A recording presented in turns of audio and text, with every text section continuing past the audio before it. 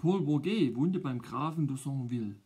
Am Tag nach seiner Ankunft war er um 11 Uhr noch nicht zum Frühstück erschienen. Der Graf kam zu ihm ins Zimmer und fand Bourget noch im Bett. Ich schlafe schon längst nicht mehr, sagte Bourget. Ich träume, oder besser gesagt, ich denke nach. Das ist so meine Gewohnheit. Ich sammle morgens meine Gedanken, bringe Ordnung in die Ideen, die mich beschäftigen. Mit einem Wort, ich arbeite. Als Bouguet am nächsten Tag um zwölf noch nicht zum Frühstück erschien, ging der Graf abermals zu ihm hinauf und sagte, Mein lieber Freund, Sie werden sich noch überarbeiten.